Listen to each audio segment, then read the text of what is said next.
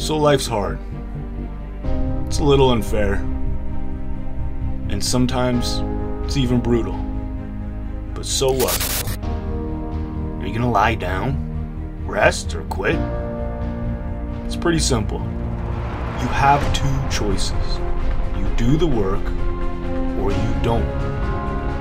You choose victory or you choose defeat. No one will know if you take it easy, if you hold back, if you don't show up. Well, that's not true. You will. And you'll regret it. When you're in that moment and that weak voice tells you that you deserve a day off, that it isn't worth it, it's too difficult, it's unfair. Simple. Ask for more.